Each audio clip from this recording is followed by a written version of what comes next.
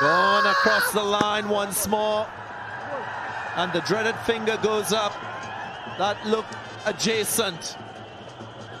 Don't think Johnson Charles will need to review this decision. Simon Doull, you don't want to make the same mistake like Mark Deyal. There's possibility of a little bit of bounce as well. I think it is out. I think it is out. I think it's hitting leg stump.